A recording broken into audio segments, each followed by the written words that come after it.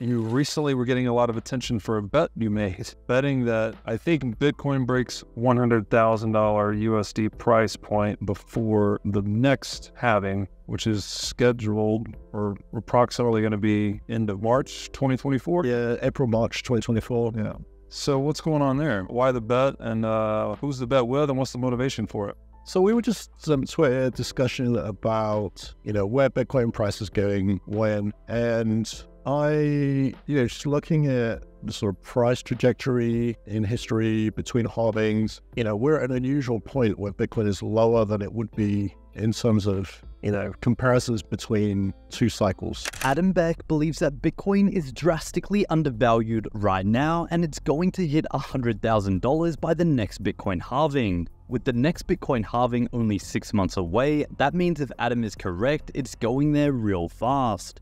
Adam Back is also so confident that he's putting money where his mouth is, betting 1 million sats that Bitcoin hits $100,000 before the halving. For those who don't know who Adam Back is, he's a true Bitcoin OG. Adam has a PhD in computer science and invented Hashcash, which is used in the Bitcoin mining process.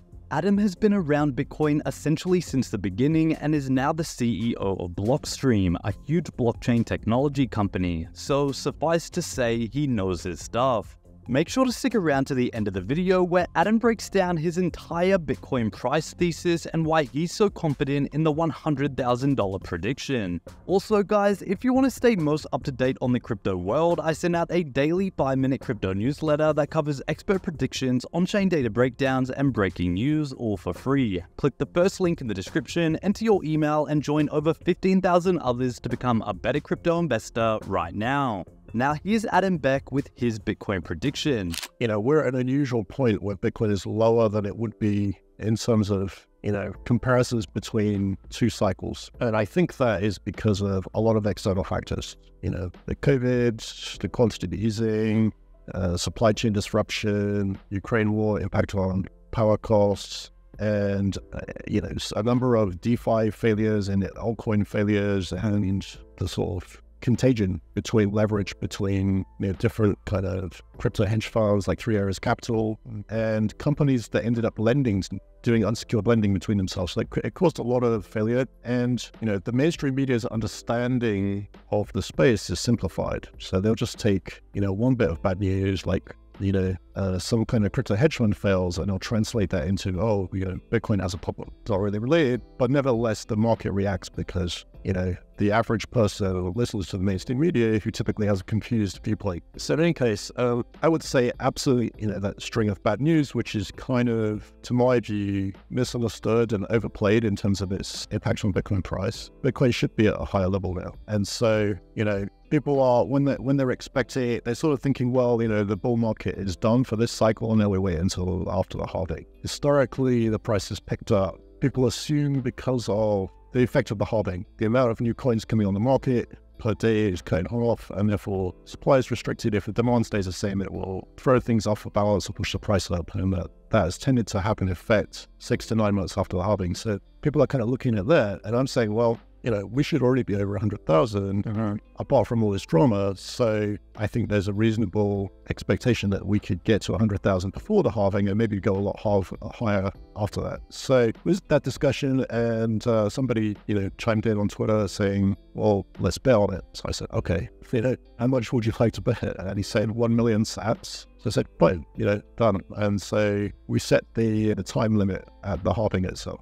Initially, it was like in March, but I was like, well, no, actually, I'm in the halving. Can we change it to the halving? I just, it's that was the kind of point of the discussion. Like, Got it. And so I've thought about this too, because typically, doesn't Bitcoin usually get back to its prior all time high price around the halving? And then it peaks, like you said, six to nine months after the halving, kind of the historic trend. Yeah, something like that.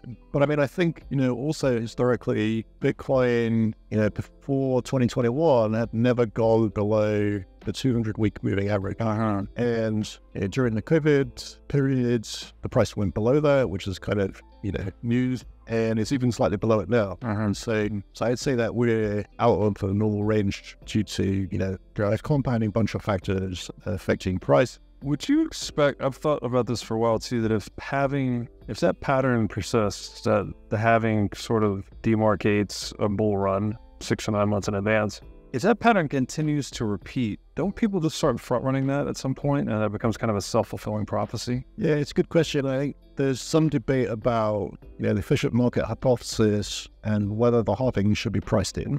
And I think one argument for why it might not be priced in is the volatility.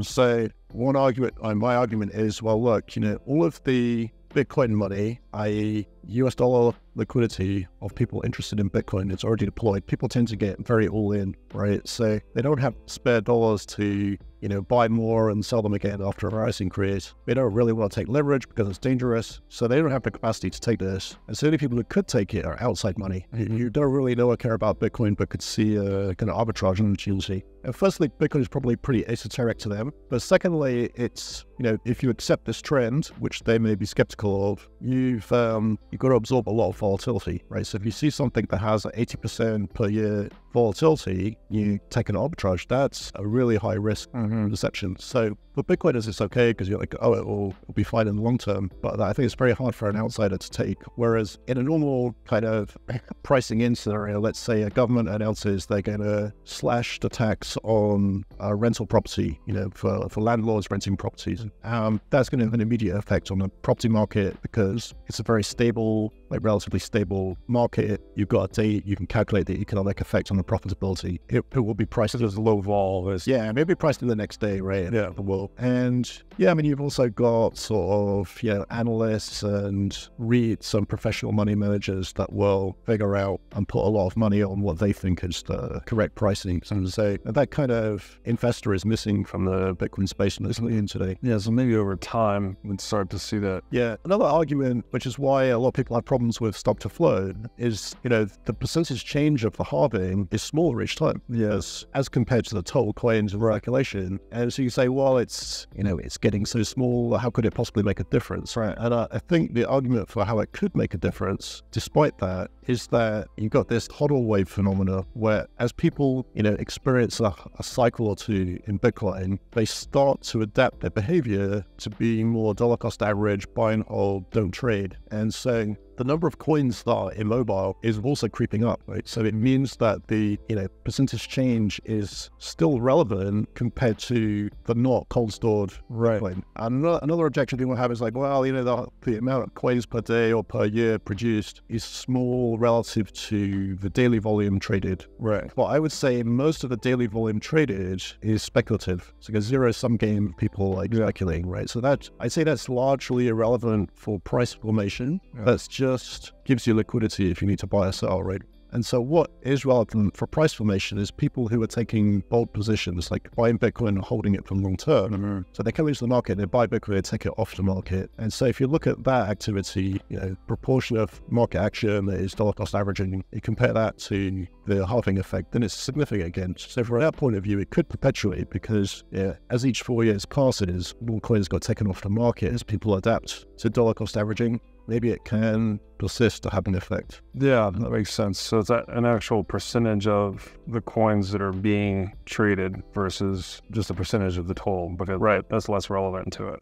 So there's Adam Back, a true Bitcoin OG with Bitcoin's future trajectory and why he's confident in a $100,000 Bitcoin in the next six months. As one of the pioneering figures in the crypto space, his insights are always invaluable. Remember, these are perspectives of experts, but always do your own research when it comes to your investments. If you found this video enlightening, give it a thumbs up and share it with fellow crypto enthusiasts. For those new to the channel, don't forget to hit that subscribe button to stay updated on future discussions and interviews. Lastly, if you haven't already, sign up to my daily 5 minute crypto newsletter, join a growing community, and stay informed on the latest happenings in the crypto world. Just click the first link in the description below.